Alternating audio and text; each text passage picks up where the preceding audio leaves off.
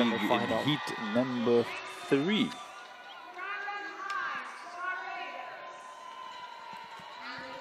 we will see the former under 17 champion, Trinidad and Tobago's Kieran uh, Sriskandarajah, Jamaican grandparent, Sri Lankan mother, or Sri Lankan father rather, and uh, Trinidadian mother.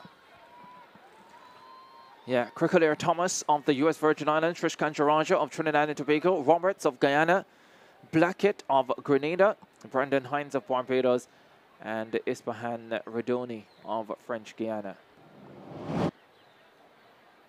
Here he is, Sriskandarajah, 1500 champion in Kingston at the under 17 level. Still only 18, based in the United Kingdom, runs with Herne Hill Harriers. The Barbadian Brandon Hines in the lineup as well.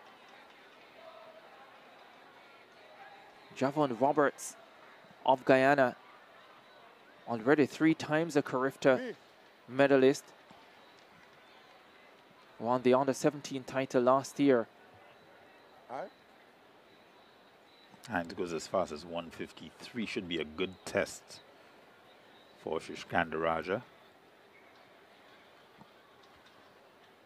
Sriskandarajah. Sriskandarajah in three. Roberts in four. It's going to be another fabulous final.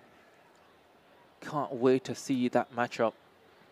Bygrave and Sriskandarajah and Roberts and all the others.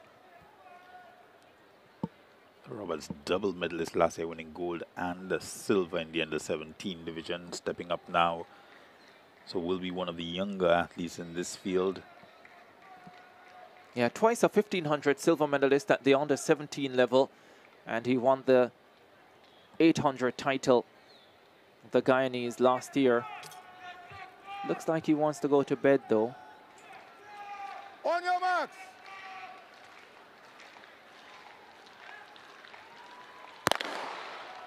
Away they go. It was Redoni on the outside. It looked as if he wanted to go to bed as they're off and running for the third and final semi-final of the under-20 boys 800 meters. Sriskandarajah of Trinidad and Tobago, the under-17 1500 champion, 800 silver medalist from Kingston in 2022. He's in third position at this stage with the Barbadian making the pace hot. Brandon Hines, he knows that's his best shot of getting into the final to make this race really quick and give himself a chance of advancing as a non-automatic qualifier possibly if he can't hold on to an automatic qualifying spot.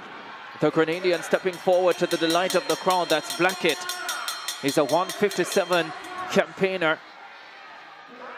Hines of Barbados in front. Sriskandarajah alert to the danger and steps forward in second position. Roberts of Guyana is in third. The Barbadian, Brandon Hines, still holds the advantage. 300 meters to go. Sriskandarajah in second. Roberts of Guyana in third. The Grenadian, Blackett, not out of it. And he is rallying down the back stretch. They have 200 meters to go. It's still Hines of Barbados, only too short to be in the final. Blackett gets clipped from behind by Sriskandarajah, who steps up the tempo for Trinidad and Tobago. Sriskandarajah sails into the lead. Javon Roberts comes through for Guyana. Hines still there for Barbados. Only too short to be in the final. Sriskandarajah goes clear. Hines follows him.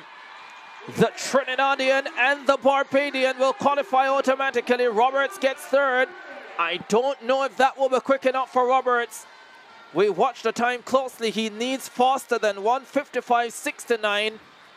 We'll find out shortly if he got it. But Sriskandarajah clearly in fabulous form and ready to win his first Carifta 800 title, 154.70. Just biding his time, the English schools champion and uh, knowing exactly where he was, very well aware of his position, very well aware of what the man in front of him, Hines, was doing. You saw Hines flagging down in that uh, last uh, 200 meters, and here comes uh, Sriskandarajah just making that push, stepping up, doing his coach James McDonald very, very proud, coming around into the home straight and uh, taking uh, this final semi-final this third and final semi-final very, very easily, it looked like. Yeah, fabulous run as well from Brandon Hines of Barbados to get through automatically in a tough semi-final. Stepping up big, that's what championship running is all about. Getting here in your best shape. And Brandon Hines has done that 155.05, 155.64 for Roberts. That gets him into the final along with D'Angelo Brown of Grenada. That means Aaron Morris of Barbados has been knocked out with his 155.69. Roberts does enough, if only just. Well, that was a real treat in the 800 qualifying races. Semi-final round started with the girls on the 17s, finished with the boys on the